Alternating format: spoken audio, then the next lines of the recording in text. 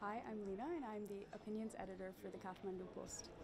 So, um, why do you think this kind of event is necessary in the context of Nepal?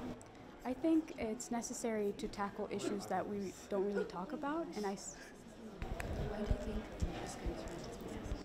I think it's important to tackle issues that are not really talked about in society. And what we're seeing in the panels are is like structured conversations about issues that are often overlooked. So I'm really thankful that these issues are finally getting a platform for critical discussion, and I think that's important.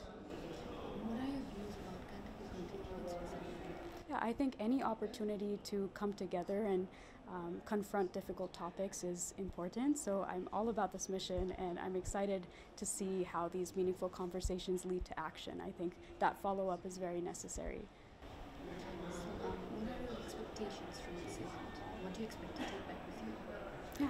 Um, I hope to take back, you know, in addition to new ideas, um, like clear plans of action, because I think, you know, it's okay to talk about these things, but what do we do after is, I think, a more important question. Um, so I'm hoping that we have action plans after as well, so that we, you know, it's not just a, a two day event, it's something that carries on, it's a movement. the Kantipur Conclave.